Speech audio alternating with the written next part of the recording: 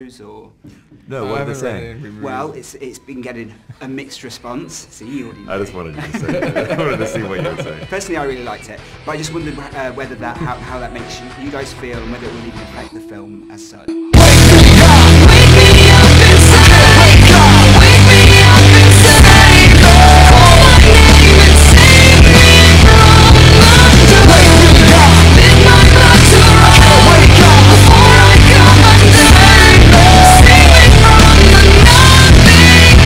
I agree.